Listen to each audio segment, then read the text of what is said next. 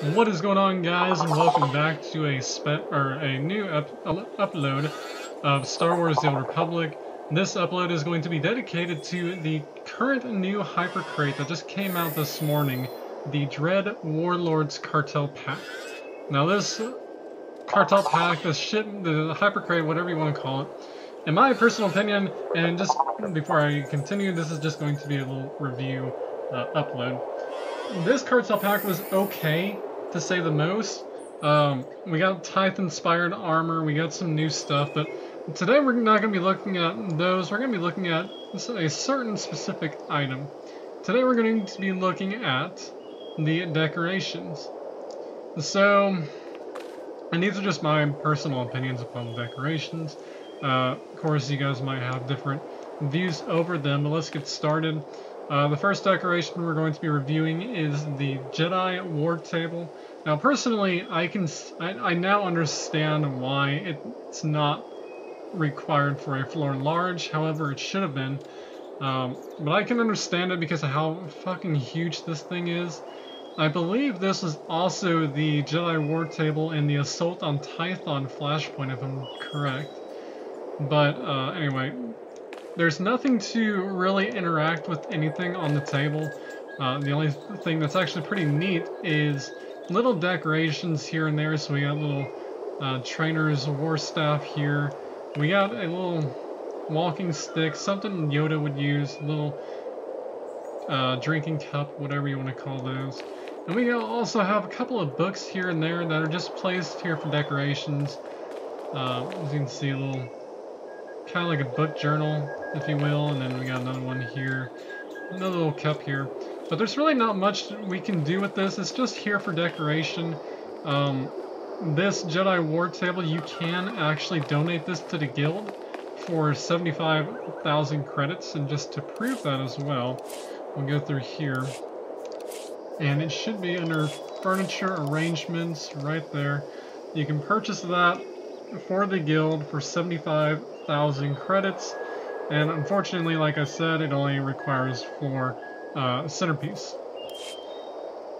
So now what we're going to be looking at is the next uh, decoration. I'm not going to be looking at all the decorations, unfortunately, because I did not get all of them. Uh, I only got a few things here and there. I think I actually got about five decorations out of this cartel pack. So the next one we're going to be looking at is the Iokath Arches. And this one does require a floor centerpiece, and you can easily tell just by that why it requires a floor centerpiece is because how ginormous this thing is. Now, personally, me, I don't care about the Iokath arches that much at, at all. You cannot interact with anything over here. There's no control panel to activate any type of ray shield, nothing. To me personally, it, it would have been nice if they had like a little control panel like on each arch so you could just click something, say like right there, and a big uh, ray shield pop up. And then this part right here, little side of it would be all ray shields. It kind of like reminds you of uh, uh, the Phantom Menace during the Darth Maul versus Obi-Wan duel. That would be pretty cool if they could do that. Unfortunately, with this uh, decoration, it does come with a limit, uh, if you will. I'm always having to go through my stronghold to do that. Uh, unfortunately, you cannot do donate this one to the guild. I can find it. There it is. Yeah, unfortunately, you cannot donate that at all to the guild. You cannot donate... I think there's only two things you can actually donate from this entire hypercrate, I believe. Decoration-wise, but I'm not entirely sure. So anyway, next up we're going to be looking at is the Iokath uh, computer bank. Now this one, personally, is pretty neat looking. It's got the little Iokath monitor droid here. Pretty decent, you know, but there's absolutely no, nothing you can activate on here whatsoever. It's just a little decoration display bank. To me personally, if I had created this, or if I was at least, if I could at least add something to this, I would at least add like a little ability or some type of function to where you could press something, like press a little uh, press like a little bar here or something and you could activate the GTN or you could activate your personal uh, cargo hold with this because that would make a little bit more sense, truthfully. So, moving on to the uh, second to last item that we currently, or that I currently got anyway, is the, what was my favorite. Uh, it's not anymore, unfortunately, but you'll see why here in a minute. I'm actually going to put it here this time. We got Tyth Font of Sacrifice, and personally, there is... That's just it. it's disappointing to say the most. You cannot get burned by the fire at all. It's, this is literally all that it is. Uh, honestly, when I first heard about this and when I first saw this decoration, I would have I was expecting like a big Tyth statue to appear at least somewhere in the middle, but no, it's just a little it's like the fountain of blood and fire. You just got skulls burning here and there and whatnot. It's not really anything decent. I mean, other idiot people are going to try and put this up on the GTN for 40 to 50 million credits just because it's Tyth. That's you don't you don't need another reason. It's just inspired by Tyth.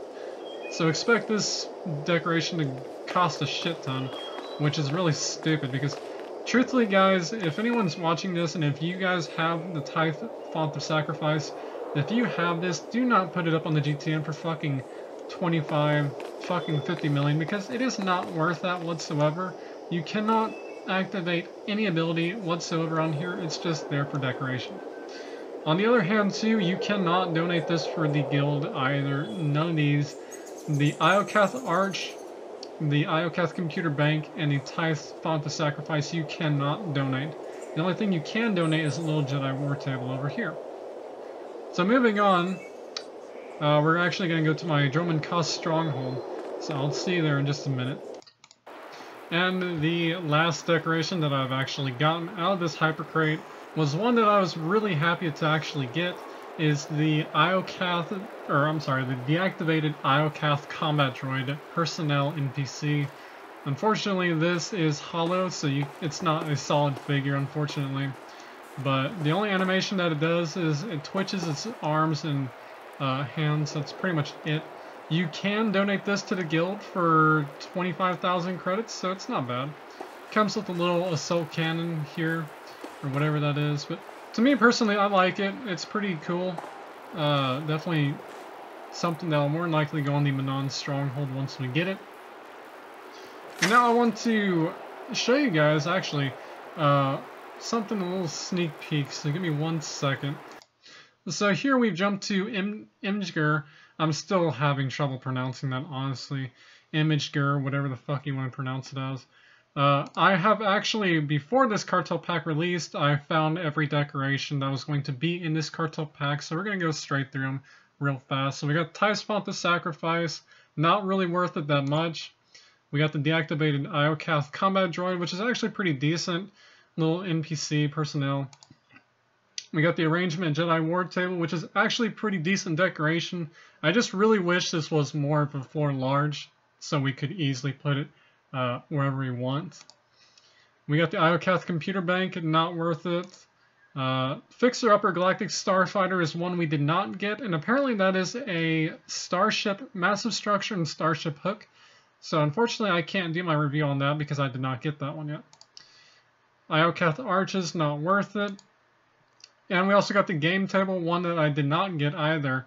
And this would be a floor large. I'm assuming this would have had some type of some type of uh, clickable ability you could activate something on, but more than likely probably wasn't. And the Flesh Raider Camp, which was a centerpiece hook, honestly, uh, just from judging by it, I honestly would say it'd be a decent kind of decoration.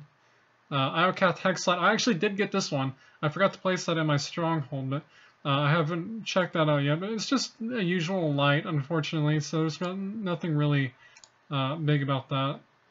So that pretty much does it, however, for this little review. The Dread Warlords Cartel Pack is on sale today. It just released for 5,850 cartel coins for a hypercrate, which is overpricing it. And the only reason they're doing that is because of Tyth. I mean, come on. So anyway, hope you guys enjoyed that upload. If you did, leave a like, and I'll talk to you guys later.